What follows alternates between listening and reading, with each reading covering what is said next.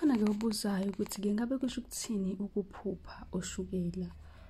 Ushukela-ke lo nje ngicabanga ukuthi sonke siyawubona. Ukuphupha-ke ushukela kusho ukuthi-ke abadala bomile badinga-ke ukuthi ubenzele itiye. Kungenzeka-ke ukuthi-ke ubona ama-T-Rex othi ngiwathathe.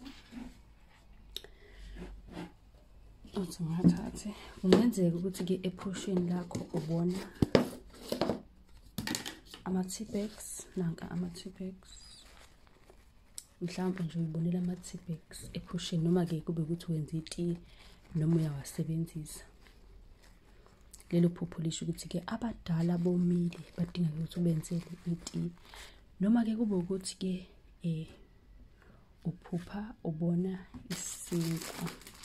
Isinkwa-ke naso sibika ukuthi-ke abadala badinga-ke ukuthi ubenzele itiye. Konke-ke ongakucabanga-ke lokhu kokuthi-ke ukwazi ukuthi-ke wenze itiye noma ngithi-ke ukudla.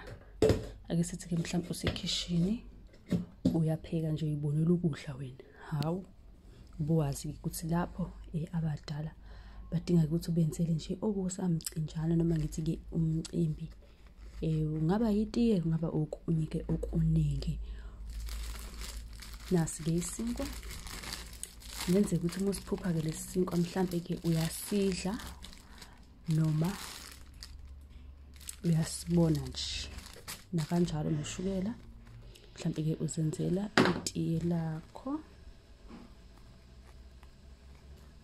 Mhlampe nje uzenzela itiye lakho noma uzidlela itiye. Lelo phupho libika-ke ukuthi kuzomele-ke wenze itiye. Mlaleli uma kuwukuthi-ke khona la ongazwanga khona, ngicela-ke ushaye u-subscribe la ku-comment, uphinde-ke ukhomente muchidegene nabangani bakho beziwe subscribe angizobuya-ke nenye ividiyo.